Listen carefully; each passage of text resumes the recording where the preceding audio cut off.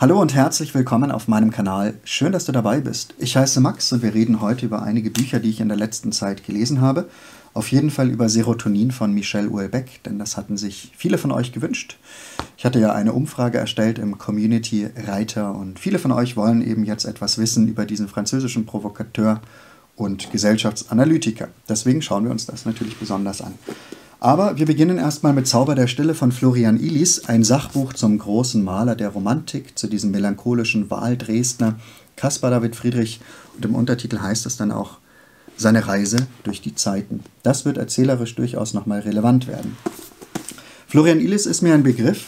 Ähm, er hat ja schon den Bestseller 1913 geschrieben, Der Sommer des Jahrhunderts sowie dann eben auch den Nachfolgeband, was ich unbedingt noch erzählen wollte, 1913 über bestimmte Kulturgrößen, die in diesem besonderen Jahr eben porträtiert werden. Und Florian Illis zeigt, womit sie sich beschäftigt haben, was sie ähm, an Kulturgrößen erzeugt haben, ähm, ob sie verliebt waren, ob sie jemanden gerade verachtet haben und so weiter und so fort. Also er konzentriert sich auf dieses Ja und macht es auf eine sprachlich humorvolle, angenehme Weise.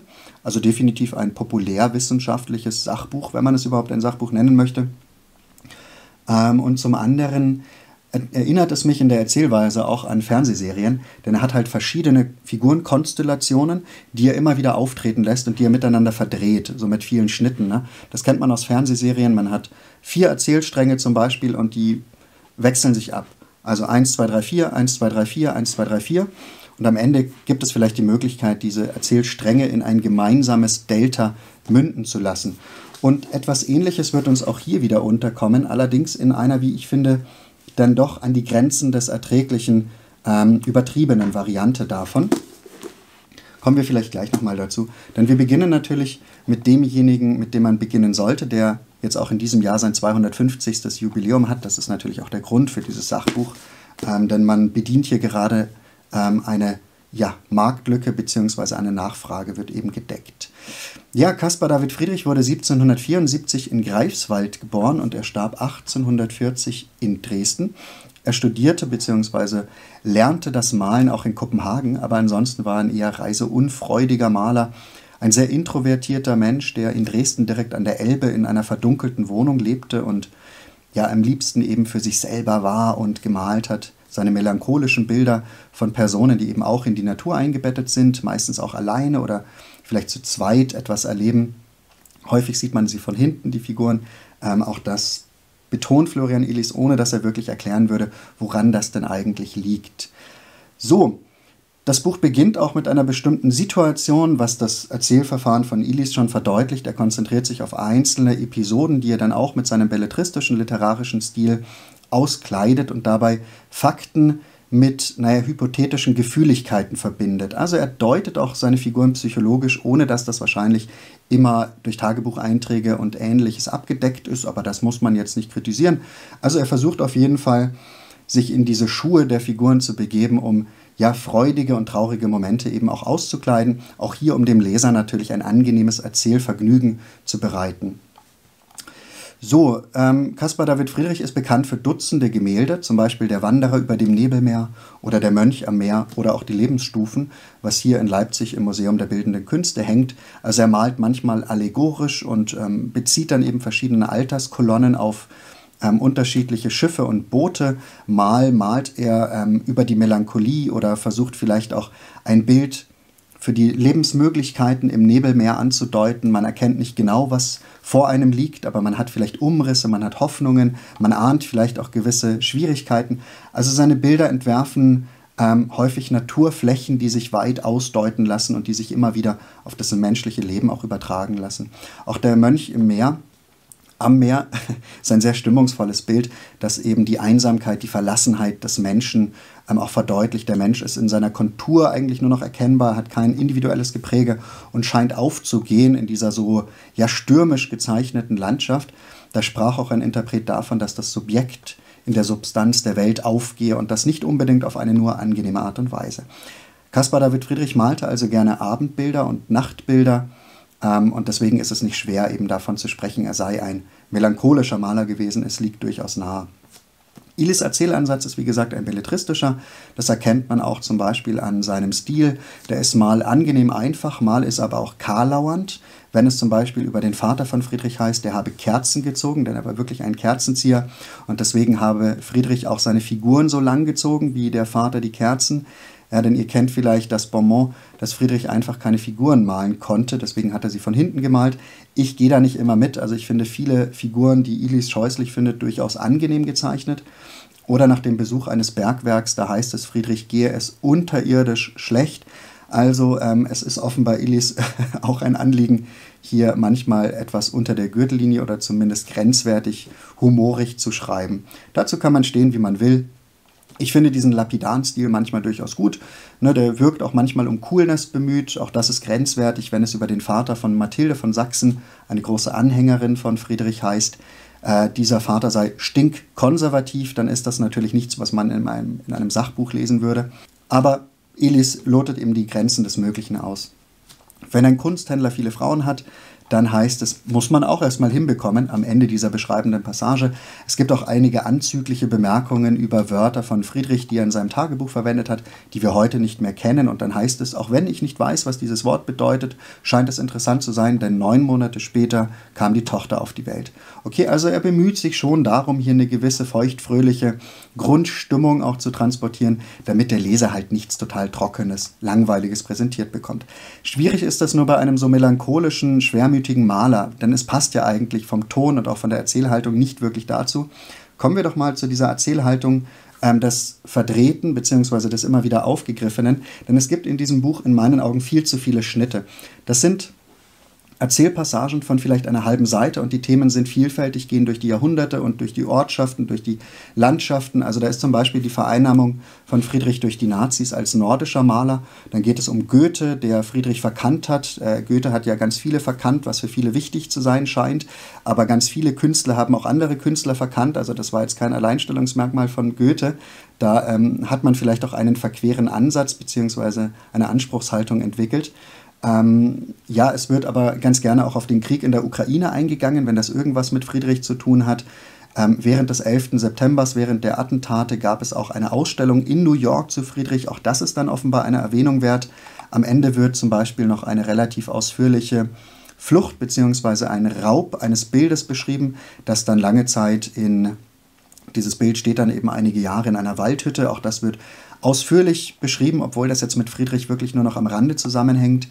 Ähm, dann auch der Patriotismus von Friedrich gegen Napoleon. Es geht um die Kinder von Friedrich am Rande, natürlich auch um seine Malerkollegen. Manche Bilder werden beschrieben und analysiert, allerdings nicht so, wie ich mir das erwarte. Hitler zum Beispiel, der für das Gemälde der Watzmann sehr viel Geld überwiesen hat an einen Juden. Und das ist für Ilis natürlich auch ein Zeichen, um hier das ganze Geschichtliche rund um Friedrich und rund um diese Bilder auch noch einzufangen. Das ist ganz häufig zugegeben sehr interessant, aber es bleibt natürlich die Frage, ob wir dadurch den Maler wirklich kennenlernen und ob sich nicht eher so ein TikTokisierungsgefühl einstellt mit ganz vielen Schnitten, mit sehr vielen Sprüngen. Und ich hatte den Eindruck am Ende dieses Buches, dass ich den Maler nicht wirklich kennengelernt habe. Ja, denn es gibt auch einige offene Fragen. Warum sind die Figuren immer von hinten gezeichnet worden? Darauf konzentriert sich Elis nicht. Er findet keine Antwort. Wenn er das nicht weiß als Kunsthistoriker, könnte er einen, einen anderen Kunsthistoriker interviewen und dort auf Antworten stoßen, aber das tut er nicht. Es fehlt auch völlig die Beschreibung des Malstils. Ich weiß von der Literaturbeschreibung und Rezension her, dass die Beschreibung des Stils immer anspruchsvoll und manchmal auch sehr schwierig ist. Aber dennoch finde ich, man sollte es versuchen und man sollte es auch bei der Malerei versuchen. Wie hat er also gemalt? Dazu gibt es überhaupt nichts. Ich finde auch, dass manche Bildbeschreibungen von Ilis nicht zu den Bildern selbst passen. Zu dem Sommer, zum Gemälde der Sommer heißt es zum Beispiel, die Arme seien Popeye-mäßig dick oder die Unterkörper würden fehlen, aber beides ist einfach nicht richtig. Ich kann euch das Bild einblenden. Ähm, manchmal stimmt auch sprachlich das Detail nicht. Also wenn es zum Berg heißt, er sei, es sehe aus, als sei der Berg nur gemalt, dann müsste es richtig als Irreales heißen, der Berg sah aus, als wäre er gemalt. Das sind vielleicht Details, auf die sich manche nicht konzentrieren, aber andere stören sich an solchen Details und ich weiß auch, dass sich manche daran stören, dass ich das Wort Detail, Detail ausspreche. Also so etwas fällt mir einfach auf und ich frage mich, ob das nicht insgesamt für ein nicht wirklich gutes Sachbuch steht. Hin und wieder ist diese Einbettung von Friedrich eben wirklich diffus und völlig weitläufig, wenn es dann um Fragen bei Wer wird Millionär geht oder um ähm, eben den Krieg in der Ukraine, da fehlt mir das Verständnis, was ich damit jetzt in Bezug auf Friedrich anfangen soll. Deswegen baut dieses Buch eigentlich eher Schnipsel auf, aus denen sich aber kein äh, wirkliches Mosaik ergibt, ähm, sondern eher ja, disparate Fetzen, so eine TikTokisierung, von der ich persönlich eher abgeschreckt bin. Gerade weil es auch kein Buch jetzt wirklich zur Malerei ist, sondern eher ähm, eine Cash-Cow zu sein scheint, eben passend zum Friedrich ja. Zumindest ist das jetzt mein Eindruck, denn ich habe hier auch vor kurzem oder vor ein paar Jahren ein wirklich großartiges Buch zur Malerei von Leonardo da Vinci gelesen, aus der Hand von Kia Fahrland, auch einer Kunsthistorikerin. Aber das ist ja Elis auch. Und hierin gibt es zum Beispiel hochqualitative Seiten, auf denen dann wirklich die Bilder dargestellt sind, die dann auch analysiert werden. Also das ist hochqualitativ, großartige Farben, sehr satt, ähm, eine hohe Qualität insgesamt einfach dieses Hochglanzpapiers. Und davon gibt es, ich würde mal sagen, 20 Bilder, also 20 dieser Seiten, sodass man sich das wirklich vor Augen halten kann. Und das gibt es in diesem Buch überhaupt nicht. Da gibt es nur relativ schwammig gesetzte Bilder, ich glaube vier Bilder zu Beginn von vier Kapiteln, ähm, aber das hat bei weitem einfach nicht die Bildqualität. Und das, obwohl dieses Buch 25 Euro kostet und dieses großartige Buch von Kia Fahrland, ein Fest der Malereifreude, kostet 26 Euro, also wirklich nur einen Euro mehr. Von dem her würde ich insgesamt sagen, das ist ein Buch für den Markt, für den Massenmarkt, aber inhaltlich und auch was ähm, die Kunstfertigkeit des Druckes angeht und was auch die Bemühungen angeht, ein Verständnis für den Maler und für die Malerei zu wecken, ein eher unterwältigendes Buch, das ich mit vier von zehn Punkten bewerten möchte. Machen wir weiter mit einem kompositorischen Meisterwerk, wie man es ganz selten in der Hand hält, rund um sexuelle Begierde, rund um Liebe und um Schuld und vor allem um eine Phantasmagorie einer jungen Nachwuchsautorin, die die Welt, die sie vorfindet, vor allem die Welt der eigenen Familie eben ausdeuten, zum Leuchten bringen und interpretieren möchte und dabei auf Fehlanalysen kommt, die für andere Menschen katastrophal sein werden. Garniert wird dieses Meisterwerk an Kompositions- Geschick eben auch durch eine Szenengenauigkeit, wie man sie auch sehr selten gelesen hat. Ähm, und diese Szenengenauigkeit, die Fülle an Wahrnehmbaren, die ist nicht zufällig und die ist auch nicht Selbstzweck, ähm, sondern das hat durchaus eine Bewandtnis. Ich möchte euch ein Beispiel dafür geben. Auf Seite 82 heißt es, Sie presste einen Daumen auf das Schloss und öffnete es. Das polierte Metall war kühl, ihr Griff hinterließ kleine feuchte Flecken. Man sieht das. Also jedes Detail ist hier wichtig. Auch die Geräusche, auch die Gerüche werden eingefangen. Und das ist für mich jetzt aber nicht nur Selbstzweck, dass hier eine Opulenz aufgebaut wird, um sich etwas gut vorstellen zu können. Das ist sicherlich auch ein Nebeneffekt, ein angenehmer Nebeneffekt dieser so ähm, intensiven und bildreichen Sprache. Aber darin wird auch der Versuch einer bestimmten Person deutlich, eine Zeit wieder auferstehen zu lassen. Und da man eigentlich eine moralische Fragestellung klären möchte, die sich aber nicht so einfach klären lässt, gibt es vielleicht die Ersatzbehandlung der Genauigkeit in der Auferstehung einer bestimmten Zeit. Ja, ich will hier nicht zu viel spoilern, ich will nicht so viel vorwegnehmen, aber das hat für mich alles Hand und Fuß. Und das erinnert mich auch an den starken Beginn von Titanic, ähm, als nämlich eine alt gewordene Rose eben vor der versammelten ähm, Forschergemeinde sitzt und dann ansetzt zu sagen, es ist über 84 Jahre her. Ja? Was es mit diesem Bild auf sich hat, möchte sie erklären. Und dann wird sie sofort unterbrochen von einem Wissenschaftler, der sagt, ja, natürlich, das wissen wir. Erinnern Sie sich bitte an irgendetwas. Alles hilft uns. Ja, so grob es auch immer sein mag. Und dann sagt Rose wieder, ja, möchten Sie die Geschichte jetzt hören oder nicht? Es ist über 84 Jahre her, aber ich erinnere mich an alles, an alle Gerüche, an alle Farben. Ich erinnere mich daran, wie das ähm, Schiff klang und so weiter und so fort. Und genauso geht es auch dieser jungen Bryony oder Bryony eben darum, eine Zeit wieder auferstehen zu lassen, weil es im Kern um eine Liebe geht, wenngleich sie eben nicht so angenehm ist wie bei Rose und Jack, die ja immerhin eine schöne Zeit hatten, ähm, wobei es gewisse Parallelen doch durchaus gibt. Na gut, also, ich hoffe, ich habe euch neugierig gemacht durch diesen Start. Ich will hier wirklich ganz, ganz vieles nicht erzählen, denn ihr sollt diese Geschichte selber kennenlernen. Ich will es nicht spoilern. Die Geschichte lässt sich leider, wenn man einmal spoilert, glaube ich, nicht mehr mit dem großen Genuss lesen, den ich hatte. Die 13-jährige Bryony Tellis lebt das verzärtelte Leben von Upper-Class-Kids. Ähm, die Familie lebt in einem großen Anwesen und allmählich tröpfeln jetzt wieder die Geschwister dieser jungen Bryony ein. Sie hat keine Lebenssorgen, also wirtschaftliche Sorgen hat hier niemand und deswegen richtet sie ihr Interesse, ihr zunehmend literarisches Interesse auf die Menschen in der Umgebung, also vor allem auf ihre Familienmitglieder. Diese möchte sie literarisch ausschlachten. Ja, sie spürt einfach in sich den Antrieb, etwas aufzuschreiben und Menschen reichhaltig zu beschreiben, um auf Interpretationen zu kommen. Zu Beginn schreibt sie noch relativ kitschige Liebesgeschichten rund um Prinzessinnen, die auf ja tolle Ritter stoßen.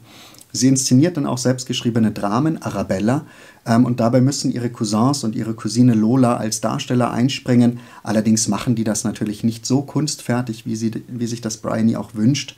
Ähm, und diese Unfähigkeit führt dazu, dass sie dann bald genug von diesen Cousins hat und sie konzentriert sich dann auf die heimkehrende Schwester Cecilia, die vom Studium kommt. Das ist zu der Zeit natürlich auch noch ungewöhnlich. Und sie sieht dann auch den Familienfreund Robbie.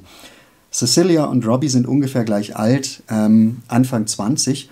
Und Bryony beobachtet jetzt einfach, was in diesem Elternhaus passiert, wie die Geschwister aufeinandertreffen. Auch der Bruder Leon wird kommen, gemeinsam mit dem Kumpel Paul, der aus einer reichen Industriefamilie stammt, ähm, die offenbar Schokoriegel für die Soldaten herstellt, was wichtig ist, weil wir uns am Vorabend des Zweiten Weltkriegs befinden. Und der Zweite Weltkrieg wird im zweiten Kapitel auch nochmal gesondert ähm, dargestellt. So, ja, und hinter dieser Fassade der Großbürgerlichkeit entspinnt sich jetzt eben die Beobachtung von Bryony, die alles wahrnimmt und alles eben literarisch ausschlachten möchte. Und es beginnt auch eine Liebesgeschichte allmählich, eine ganz zarte, eine erst leise angedeutete Geschichte. Hm, eine Verkettung von Fehlurteilen bringt dann eben eine Tragödie mit sich. Und eine Liebe zwischen zwei Leuten und auch eine Liebe zur Literatur, die sich verbindet und die sich leider auf eine ganz ungute Weise miteinander verbindet, eben durch eine Beobachtung von Menschen und durch Schlussfolgerungen, die man daraus zieht, die von einer 13-Jährigen gezogen werden, die einfach noch keine Lebenserfahrung hat und die vieles in ihrer vorgefertigten Art und Weise interpretiert, die also zu Beginn der Geschichte schon ein Narrativ aufgebaut hat, das es ihr dann nahezu unmöglich macht, aus diesem Narrativ auszubrechen und damit ja Leute ins Verderben stürzt. Durch eine Wiederholung von interessanten Schlüsselszenen haben wir eben auch verschiedene Blickwinkel und die subjektiven Wirkweisen und Zusammenhänge werden uns auch nochmal separat präsentiert. Zum Beispiel ähm, sieht man erstmal in einer Brunnenszene einen vermeintlichen Gewaltakt Robbys, der auf die Schwester Cecilia losgeht ähm, denn die beiden streiten sich offenbar um eine Vase. Das wird erstmal aus der Sicht von Bryony erzählt. Und danach bekommen wir jetzt allerdings nochmal ein ganz anderes Bild, nämlich dann das von ähm, Cecilia selbst. Und plötzlich ist diese Szene nicht mehr ein männlicher Gewaltakt, sondern es ist eher die Dominanz von Cecilia, die Robbie hier etwas ausdrücken will. Und man hat natürlich hier plötzlich aufkeimende ja, ähm, Gefühle von Liebe, von Begehren. Und das ist ganz interessant gelöst, weil diese Dinge nebeneinander stehen und wir als Leser in beiden Köpfen mit dabei sind und eben versuchen herauszufinden, ähm, warum sich das so unterscheidet und natürlich auch, warum die nicht miteinander reden. Aber offenbar kann Bryony die Schwester nicht einfach ansprechen, um zu fragen, was das war, sondern sie baut das sofort analytisch-literarisch auf. Deswegen könnte man auch sagen, diese junge Bryony ist übrigens eine gewisse literarische Variation von Virginia Woolf. Es geht hier eben auch um die Reflexion, dass Bryony eines Tages erkennt, dass sie in ihrem Kopf steckt und dass andere Menschen wahrscheinlich auch in ihrem Kopf stecken. Und dann hat sie also so intersubjektive Erkenntnisse, dass wir Menschen ja alle davon ausgehen, dass wir die wichtigsten Personen in unserem Leben sind. Und das bemerkt sie. Aber was das bedeutet, ist ihr nicht klar. Also sie hat trotzdem einen sehr naja, quasi arrogant egozentrischen Blick auf die Welt und ist nicht in der Lage, auch anzuerkennen, dass sie vieles nicht versteht, sondern sie kommt eben sofort auf Interpretationen, so wie das Literaten ja meistens tun. Das ist also sehr interessant und es gibt die Wiederholung ähm, von Schlüsselszenen auch später noch einmal. Ähm, es gibt sie noch einige Male. Aber eine wunderschöne Liebesszene ergibt sich in der Bibliothek. Für Bryony ist das erstmal abermals ein Gewaltakt. Also sie kommt bald auf dieses Narrativ, dass Robbie der eigenen Schwester Gewalt antut. Aber die beiden sind in der Bibliothek und eine 15-seitige Liebes- und ähm, Erotikszene ähm, entsteht hier, wie ich sie intensiver selten gelesen habe. Dazu will ich gar nicht so viel sagen, aber das ist wirklich knisternd, das ist wunderschön und übrigens auch immer mit einer psychologischen Tiefenschau, die sich ergibt. Also das lässt Ian McEwan auf gar keinen Fall aus. Es ist nicht nur eine Beschreibungsvielfalt des ähm, Wahrnehmbaren, sondern es ist auch eine intelligente Auslotung und Interpretation der Psyche dieser allesamt noch sehr jungen Personen. Okay, ich muss jetzt einfach an dieser Stelle so langsam aufhören. Ich weiß, dass mir jetzt noch, ähm, dass euch vielleicht hier noch vieles fehlt, aber wie gesagt, aufgrund dieses besonderen ähm, Aufbaus der Geschichte kann ich da nicht so viel spoilern. Der zweite Teil ähm, porträtiert Robbie, der im Krieg ist, der jetzt in Frankreich ist und der sich gemeinsam mit Freunden nach Dünkirchen vorkämpfen muss. Auch hier gibt es eine Überfülle an Wahrnehmbaren. Es gibt zum Beispiel immer wieder die aufheulenden Jericho-Hörner in der Luft, die man hört. Und das ist interessant, wenn wir dann vielleicht hin und wieder auch den Eindruck haben, dass manche Beschreibungen etwas aus dem Leim geraten sind, dass sie etwas unpassend schief sind. Wenn es zum Beispiel heißt, dass dort oben die hochnäsigen Flieger sind, dann fragt man sich, ob das Adjektiv hochnäsig hier wirklich passend ist. Ähm, aber auch dafür gibt es am Ende eine Auflösung. Ja?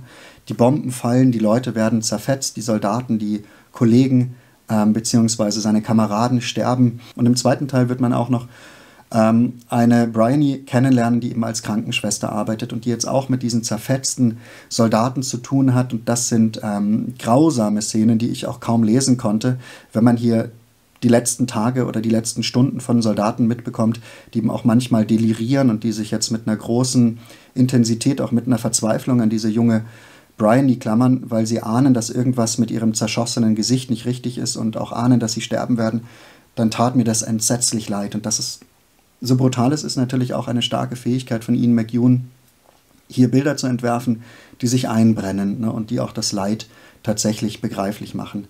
Und der dritte Teil, der bringt dann nochmal eine richtig heftige Wendung rein, die ich auf gar keinen Fall vorwegnehmen möchte. Deswegen ist das insgesamt ein Buch von absoluter Schönheit, ein Buch voller Stilempfinden und Formbewusstsein, ein Buch, das auf der Satzebene, auf der stilistischen Ebene, aber eben auch auf der Ebene der Komposition ein Meisterwerk ist und vermutlich auch an Shakespeare'sche Dramen erinnern lässt. Also es würde mich nicht wundern, wenn Ian McEwan jetzt hier auch ein Shakespeare'sches Drama vielleicht als Vorbild aufgebaut hätte. Da kenne ich mich zu schlecht aus, aber ich weiß ja, dass er als großer britischer Autor auf jeden Fall mit allen Wassern gewaschen ist. Also wirklich ein Meisterwerk, das mich äh, überzeugt hat und dem ich natürlich auch 10 von 10 Punkten geben möchte.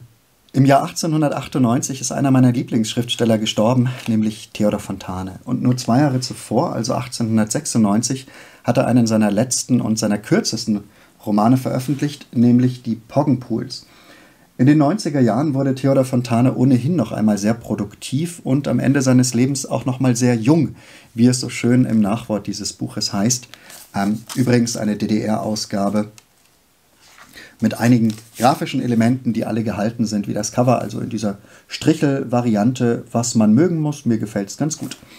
Ja, also Theodor Fontane begeistert mich immer wieder durch seine Offenheit gegenüber den politischen Veränderungen, die er alle erstmal begrüßt hat. Also war da überhaupt kein Stoffel. Er hat das nicht kritisch gesehen, dass sich die Dinge verändert haben, sondern war da durchaus auch ein Befürworter. Und mich beeindruckt auch immer wieder die Herzensgüte, mit der er auf die vermeintlich Schwächeren der Gesellschaft schaut, auf vielleicht ähm, geschiedene Frauen oder generell auf junge Frauen, auf den verarmten Adel oder auf Kinder. Also er zeigt da einfach immer eine große Liebe gegenüber dem Menschlichen und zeigt damit eben auch eine Empathie, die wahrscheinlich wenige Menschen in so späten Jahren noch aufbringen können, auch so eine Offenheit gegenüber den verschiedensten Veränderungen im Leben und in der Gesellschaft. Mich beeindruckt das wirklich sehr. Das ist nicht der einzige Grund, aber definitiv ein wichtiger Grund, weshalb ich Theodor Fontane schätze. Worum geht es jetzt also in den Poggenpools? Ein Roman mit vielleicht 150 Textseiten. Ähm, es ist im Prinzip so der letzte Tanz des Adels. Der Adel probt nochmal das Schauspiel der eigenen Rolle, der eigenen Bedeutsamkeit, die eigentlich schon verschwunden ist. Denn bedingt durch die gesellschaftlichen Veränderungen am Ende des 19. Jahrhunderts, bedingt durch Kapitalismus und durch das Aufstreben der Großstädte hat sich der alte Adel einfach jetzt nicht mehr hm, so entwickelt, wie das die Adeligen wohl gerne gehabt hätten, sondern ist mehr oder weniger allmählich in die Bedeutungslosigkeit hinabgesunken. Das macht uns Theodor Fontane schon anhand des ersten wunderbaren Bildes deutlich. Denn die Haushälterin Friederike, die wahrscheinlich deshalb bei den Poggenpools bleibt, weil sie diesen einfach treu ja, ergeben ist, ähm, sie versucht das Bild des Gefallenen Vaters der Familie aufzuhängen, nämlich des Majors Poggenpool. Und sie, ja, klopft also immer wieder irgendeinen Nagel in die Wand und hängt das Bild auf und irgendwann versucht sie es auch noch mit einem Dübel und dann mit einem größeren und noch mit anderen Möglichkeiten versucht sie dieses Bild aufzuhängen, aber es fällt einfach immer wieder runter. Es fällt auf den Boden der Tatsachen. Die Ordnungssysteme haben sich also ins Gegenteil verkehrt. Die Welt ist nicht mehr so, wie sie früher mal war. Ja? Eine Gesellschaft, eine adelige Gesellschaft, also in der Krise der Form, so könnte man das ausdrücken. Wie können Adelige denn zeigen gegenüber den Bürgerlichen, dass sie adelig sind? Und was bedeutet das überhaupt noch? Ja? Welchen Inhalt hat es, adelig zu sein? Bedeutet das, dass man elaboriert ist, dass man gebildet ist, dass man anders spricht, dass man reicher ist als die Bürgerlichen? All das trifft eigentlich nicht wirklich zu. Man zeigt hier also, oder Theodor Fontane zeigt uns eine Familie der Poggenpools, eine übrigens auch zu Beginn reine Frauenfamilie, die unterschiedliche Ansätze hat, dieses adelige Leben jetzt 1888 wohl zu zelebrieren. Hm, die Majorswitwe Poggenpool ist eine bürgerliche von Geburt. Dennoch versucht sie eben gemeinsam mit ihren drei Töchtern Therese, Sophie und Manon das Bild des Adels doch aufrechtzuerhalten. Also in ihrem Fall gepflegt soll man sein, Sitten streng und natürlich auch erhaben, also doch durchaus noch einen Gestus und einen Duktus auch aufrechtzuerhalten, der daran gemahnt, dass man es hier mit einer besonderen Gesellschaftsschicht zu tun hat. Etwas absurd und lustig, unfreiwillig lustig wirkt das dadurch, dass man aber nicht mehr in einem Palast lebt, sondern in einer Berliner Mietswohnung und dass die Vermieter auch bürgerliche sind, die hin und wieder etwas keck und etwas provozierend nach oben grölen und sich auch darüber freuen, dass die Adeligen jetzt wieder ihr Schauspiel aufführen. Ähm, also die Verhältnisse sind hier einfach nicht mehr die, die man mal vorgefunden hat. Und wenn Verwandte anreisen, dann überlegt man sich auch ganz lange, was man serviert, denn man hat einfach nicht mehr das Geld für zahlreiche Gänge. Also das Menü besteht manchmal auch aus einer etwas dünnen Suppe, aber naja, besser als gar nichts. Ne? Zumindest hat man vielleicht noch die alten, schönen Kleidungsstücke, die man dann auch entsprechend pflegt. Es geht also durchaus auch um die Wahrung des schönen Scheins.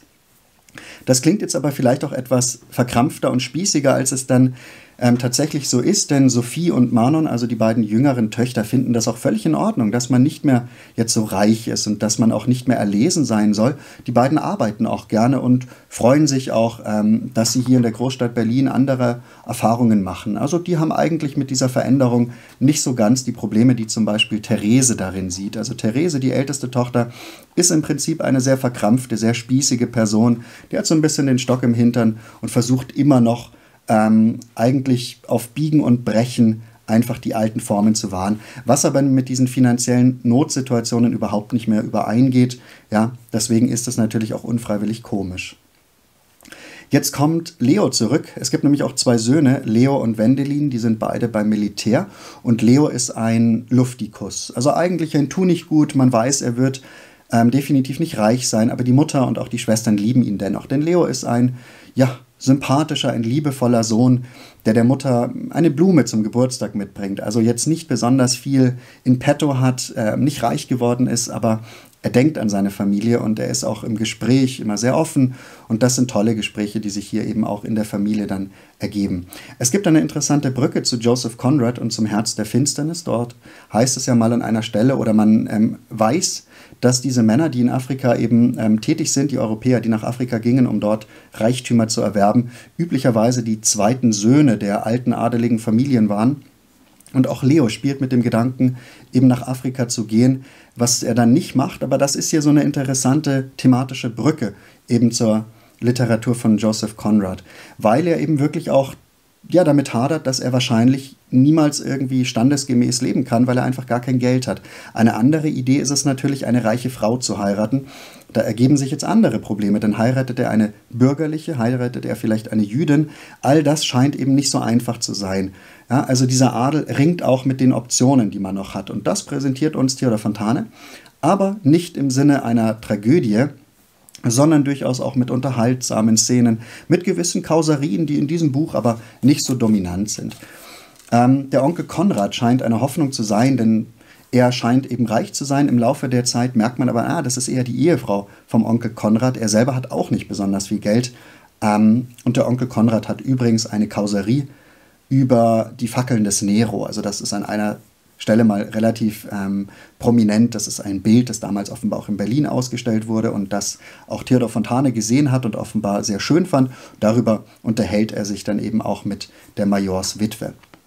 Aber im Prinzip sind das jetzt weniger Kauserien, was eben auch darauf ähm, ja schließen lässt, dass sich einfach die gesellschaftlichen Erwartungen verändert haben. Man hat jetzt nicht mehr die großen Tischgesellschaften, sondern eher intime Zweiergespräche. Also das Gespräch wird persönlicher, es ähm, entledigt sich seiner spießigen Formen, es wird vielleicht ein bisschen direkter. Die letzten Jahre des Adels also, der um eine neue Rolle ringt und dabei eben verschiedene Optionen durchgeht. Und das ist übrigens auch ein, ein Frauenroman. Also man kann es durchaus so bezeichnen. Dieser Roman besteht den Bechtel-Test ohne Probleme. Also Frauen reden untereinander ähm, nicht über Männer, sondern über ganz andere Themen. Da geht es zum Beispiel um ähm, die Frage, ob man denn arbeiten darf. Also das mag zum Beispiel die Mutter von Sophie überhaupt nicht, wenn Sophie arbeiten geht. Ähm, genau. Und hier sagt Sophie dann, nein, Mama. Warum auch? Man muss es nur immer richtig ansehen. Ich bin doch auch von Adel und eine Poggenpool und ich male Teller und Tassen und gebe Klavier und Singunterricht. Er spielt Theater.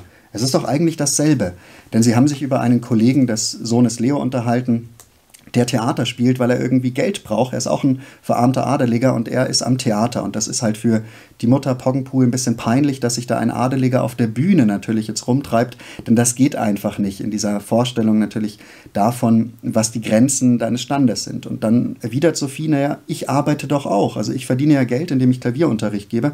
Und dann sagt die Mutter, ja, aber du bist ja nicht öffentlich. Und das ähm, widerlegt dann Sophie auch. Also man ringt hier für, um ein neues Verständnis eben, was man machen darf und was man nicht machen darf. Und damit ist es sicherlich auch einfach ähm, ein Roman, der in eine neue Zeit hineinreicht. Und Theodor Fontane hat das eben mit einer gewissen Offenheit und mit einer Neugier auch porträtiert.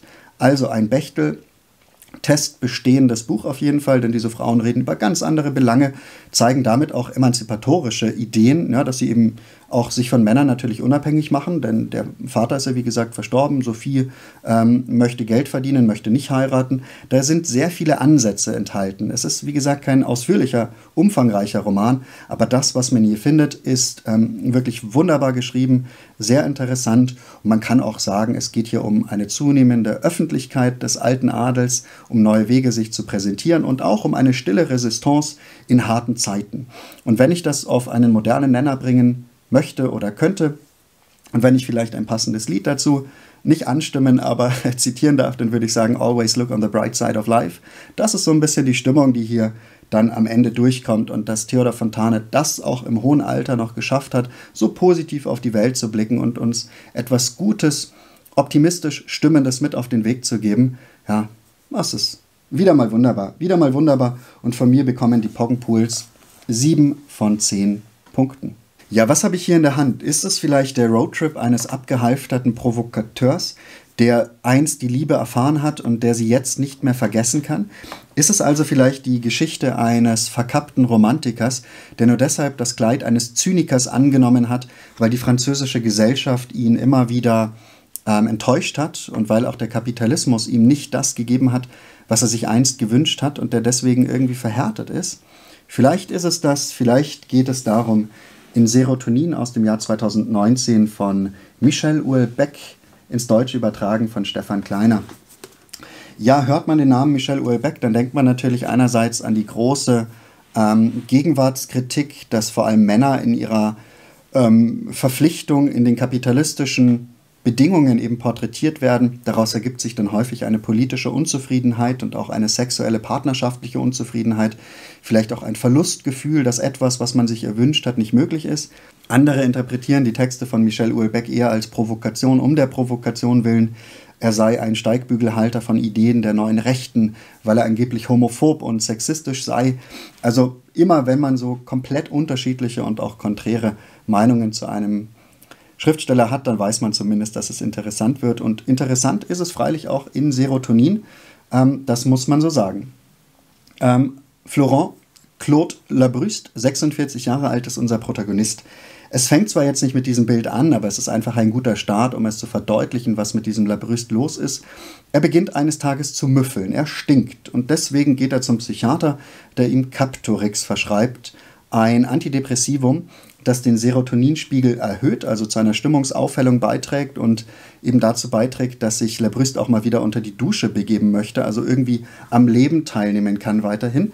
Aber damit verbunden ist auch sein Libido-Verlust. Er bekommt einfach keinen mehr hoch und diese chemische Sterilisation bzw. Kastration, um es mal so auszudrücken, die folgt eigentlich auf das sozial ohnehin schon Erkennbare, nämlich die anhaltende Erfolglosigkeit ähm, der sexuellen Kontaktversuche.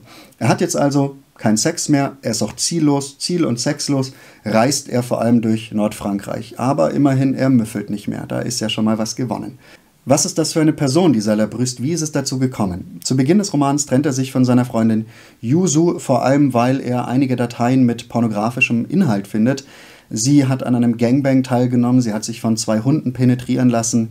Ähm, da ist man gleich bei der natürlich immer wieder gehörten Provokationslust eines Uelbeck. Aber sicherlich ähm, ist auch entscheidend, dass Labrüst jetzt nicht moralisch empört reagiert, sondern er merkt einfach, dass diese Yuso ein anderes Leben führt, als er das hat und er hat mit ihr nichts mehr zu tun. Er begeht jetzt also einen kompletten Schlussstrich. Er trennt sich von Yuso, er kündigt seinen Job, er kündigt seine Arbeit.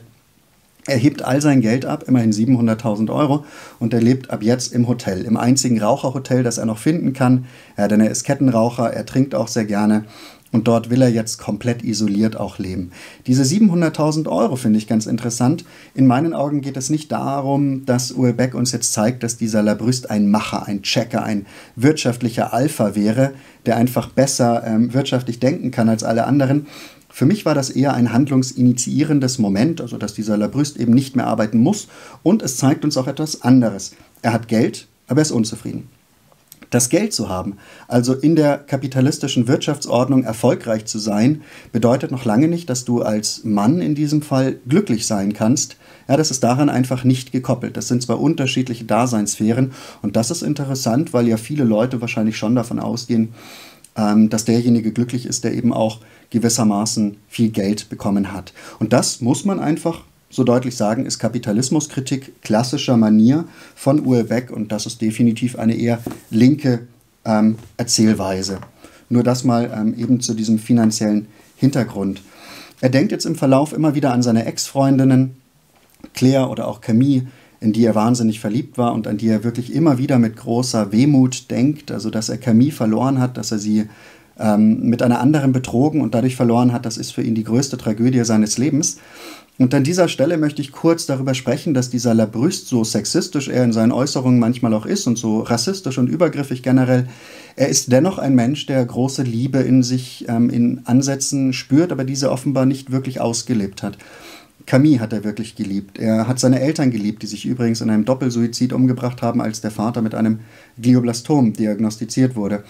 Ähm, er weint, als er einen alten Mann kennenlernt, der ihm ein Haus vermietet und als er erfährt, dass dieser alte Mann sehr krank ist. Er hat eine große Empathie gegenüber Tieren und das ist alles ernst gemeint. Ja? Da ist dieser Labrüst ehrlich ähm, in der Lage, eine Liebe zu empfinden. Die Frage ist, warum konnte er es nicht ausleben? Das ist jetzt offenbar eine Mischform aus eigenen Verfehlungen und aus gesellschaftlicher Unzulänglichkeit. Es heißt hier zumindest auf Seite 267, die Menschen hatten sich in keiner Weise gegen mich verbündet. Es war nur so gewesen, dass da eben nichts gewesen war. Dass meine von Beginn an begrenzte Anhaftung an die Welt immer weiter geschwunden war, bis nichts mehr das Abgleiten verhindern konnte. Das sogenannte Anhaften an die Welt, das finde ich so interessant.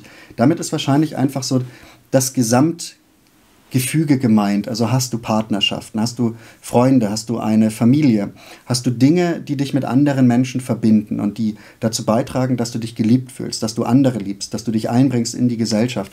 Und das ist in seinem Fall eben nicht so. Er schaut manchmal mit einer gewissen, ähm, ja, auch mit einer Wehleidigkeit auf sich, aber auch auf die Gesellschaft. Also er ist manchmal wirklich, wie gesagt, aggressiv, aber er ist auch sich selbst gegenüber aggressiv. Von dem her ist es nicht so einfach, diesen Labrüst zu bestimmen. Ob er jetzt ein reiner Sexist ist oder ob er eigentlich ein Romantiker ist. Ich finde, er ist in gewisser Hinsicht ein Mensch, wie wir ähm, das auch sind.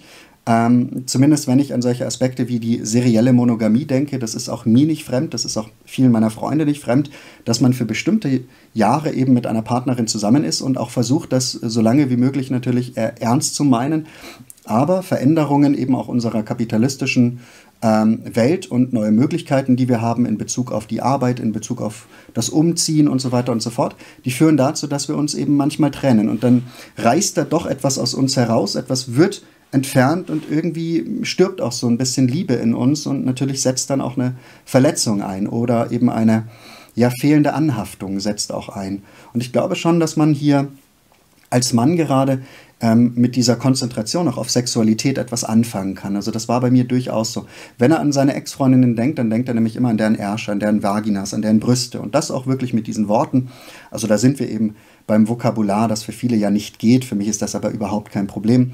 Diese Provokationen ähm, nehme ich nicht unbedingt als solche wahr, ähm, wenngleich wir da auch noch einige haben, die mich dann doch stören und wo ich auch daran denke, dass es eher Versatzstücke ohne erzählerische Relevanz sind, ähm, also vielleicht Provokationen, die nur dazu dienen, ähm, den sogenannten Zeitgeist-Kritikern etwas zu präsentieren. Und das ist ja heute auch Zeitgeist, den Zeitgeist zu kritisieren. Und manchmal, an mancher Stelle habe ich doch den Eindruck, dass Uelbeck ähm, das hier absichtlich so gestaltet. Also wenn Labrüst in einem großen Geländewagen herumfährt oder wenn er eben sagt, ähm, die Trennung wurde eigentlich, die Trennung von der geliebten Camille wurde durch den Feminismus eigentlich initiiert, denn er hat sich nicht getraut, ihr einen Antrag zu machen, weil er eben dieses hehre Ziel des, äh, der Karriere einer Frau im Kopf hatte und er weiß, dass er deswegen der Frau keinen Antrag machen konnte, dann ist das irgendwie in meinen Augen auch eher so eine absichtliche Konfrontation und eine Provokation. Oder wenn er für Monsanto arbeitete, also für den Glyphosathersteller, ja, wenn er immer wieder gegen Grüne hetzt, wenn er gegen bestimmte Nationen sich erhebt, wenn er ganz scheußliche Sätze über Japaner oder über Engländer fallen lässt,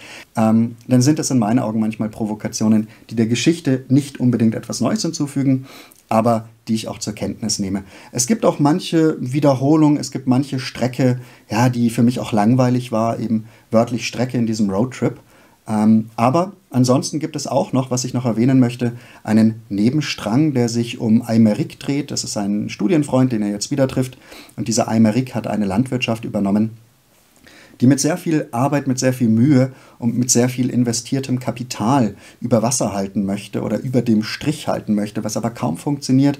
Also dieser Aymeric arbeitet sich zu Tode. Und Aymeric leidet also unter den Bestimmungen aus Brüssel, die es den französischen Landwirten fast unmöglich macht, hier profitabel ähm, und auch ökologisch nachhaltig zu wirtschaften. Dennoch ist Eimerich eigentlich eine positive Figur. Ihm ist übrigens die Frau weggerannt. Ja, die wollte lieber in England ein angenehm elegantes Leben mit, ihrem, mit einem Komponisten führen. Da ist also durchaus auch eine Kritik an Frauen enthalten, die vielleicht den leichten Weg gehen wollen. Ähm, und Labrüst in seiner gewohnten Art sagt dann Eimerich, er solle sich einfach eine Frau aus Kamerun holen oder vielleicht aus Vietnam die sei noch nicht so verzärtelt, die freue sich noch über ein Leben auf ähm, dem Hof. Also da ist sein zugrunde liegendes Vorstellungssystem von Partnermarkt. Ja? Also auch der Markt ist letztlich kapitalistisch geregelt in seinen Augen. Ähm, und wenn du eben eine Ressource anbieten kannst wie eine Landwirtschaft, dann interessiert das vielleicht eine französische Frau nicht mehr. Die will dann eher den leichten Weg gehen. Aber eine Frau aus Kamerun ähm, für die ist das sozusagen noch ein großer Gewinn und die wird diese wirtschaftliche Chance eben ergreifen. Man kann sich darüber echauffieren, aber ich denke, wenn wir uns ja einfach mit solchen Gegebenheiten vertraut machen wie Tinder oder wie Bumble oder mit irgendwelchen Flirt-Coaches und Pickup-Artists und sonstigen Begebenheiten, dann müssen wir anerkennen, dass der Partnermarkt wirklich auch ein dem kapitalistischen System nicht ganz unähnlicher Markt ist. Und mit diesen, ja, vielleicht auch provozierenden Versatzstücken spielt ein Michel Houellebecq und zeigt damit aber eben auch Gesetzmäßigkeiten der Gegenwart, mit denen sich Männer vielleicht nochmal in einer besonderen Art und Weise herumschlagen müssen. Ich habe zumindest gestern lange mit einer Freundin darüber geredet und wir sind durchaus in einem offenen Gespräch, wofür ich ihr sehr dankbar bin, auf einige Unterschiede gestoßen im Hinblick auf ähm, weibliche Sexualität, männliche Sexualität ähm, und vielleicht auch den Wunsch, ähm, den Marktwert zu erhöhen oder gar kein Interesse dafür zu haben. Also auch dieser Marktwert, der bestimmt wird durch das Alter, durch Alkoholismus, ähm, durch die Dickleibigkeit, durch einen gestellten Körper, das ist auch etwas, was Labrüst an sich wahrnimmt, aber auch an zum Beispiel Claire, eine Ex-Freundin, die in seinen Augen jetzt ganz, ganz ähm, ja, schlechter herkommt und eben einen geringen Marktwert hat. Und der attestiert ihr sofort insgeheim, sie werde einsam und allein sterben, weil sich kein Mann mehr für ihren Körper interessiere. Das sind immer wieder provozierende Aussagen, aber das ist nicht alles so an den Haaren herbeigezogen. Ähm, ich denke, da trifft Michel Houellebecq zumindest eine Realität, die für Millionen von Menschen doch eine gewisse Relevanz hat. Deswegen ist das für mich insgesamt ein interessanter Roman, ein Roman eines Mannes, der letztlich doch romantische Elemente in seinem Leben kennengelernt hat, der sie aber aus bestimmten Gründen nicht ausleben konnte, der wirklich auch ein Leidender ist, der mit Wehmut auf sein verpfuschtes Leben schaut aber der eben auch die Gesellschaft nicht komplett rausnimmt. Gewisse Provokationen laden uns ein, über die Realitäten der Welt nachzudenken. Andere Provokationen wie zum Beispiel ein Pädophiler oder wie jetzt manch erwähntes Beispiel, sind eventuell auch nur ähm, ein Gutti, ein kleines Gummibärchen für die sogenannten Zeitgeistkritiker, die von Michel Houellebecq also wirklich das Anklagende gegen den Zeitgeist sozusagen erwarten. Ähm, manche Wiederholung und manche Länge hat dieser Roman auf jeden Fall auch. Aber es gibt wenige Stimmen wie Uel Becks und ich genieße das. Und deswegen bekommt dieser Roman, der für mich jetzt kein Meisterwerk ist, sieben von zehn Punkten. Schreibt mir gerne in die Kommentare, was ihr von Uel Becks Werk haltet und auch welches ihr mir empfehlen würdet. Ansonsten nehme ich jetzt einfach das ja leider sehr, sehr umfangreiche Vernichten. Müsste es ja auch schon als Taschenbuch geben. Freunde der Literatur und der Sonne, meine Stimme ist jetzt leider wirklich heiser geworden, ich kann kaum noch reden. Mein Mundraum ist so trocken, dass nur noch Bimssteine rauskommen, wenn ich weiterspreche und das ersparen wir jetzt uns allen mal. Deswegen vertagen wir die Besprechung zu Günter de Bruyns Preisverleihung. Ein sehr interessanter DDR-Literaturroman rund um zwei Schriftsteller mit unterschiedlichen Ansichten und Ansätzen. Ähm, vor allem sprachlich total interessant, weil Günter de Bruyne eine eigene Art hat, Metaphern aufzubauen und ernst zu nehmen. Also er zieht Metaphern auch mal über mehrere Sätze hin, sogar im Extremfall mal über eine Seite, wodurch sich neue Bilder aufbauen und diese Bilder lässt er dann auf schon bekannte Fragestellungen und Themen krachen und daraus ergeben sich plötzlich neuartige Interpretationsmöglichkeiten. Es ist wirklich ein spannender Roman. Und vielleicht werde ich an anderer Stelle noch besprechen können von Irmtraut Morgner, Hochzeit in Konstantinopel, ein DDR-Roman aus den 60er Jahren. Ähm, auch hier zeugt der Text von einem großen Formbewusstsein, auch von einer unorthodoxen Attitüde, vielleicht auch von dem Drängen, die Gesellschaft anzugreifen, also hier auch wirklich auf Gefängnissituationen und auf Ungerechtigkeiten aufmerksam zu machen. Eine Verlagsstimme sprach davon, dass man hier die Verwandlung vom Sie zum Ich erleben kann, also im Sinne einer emanzipatorischen Literatur erkenne sich hier eine Frau in all ihren gesellschaftlichen Beschränkungen auch selber. Ob das jetzt wirklich den Tatsachen entspricht, da bin ich mir gar nicht so sicher. Vielleicht ist das auch ein bisschen Marketing-Sprech, um hier einfach eine Emanzipation und damit vielleicht auch ein heute noch relevantes Thema anzudeuten.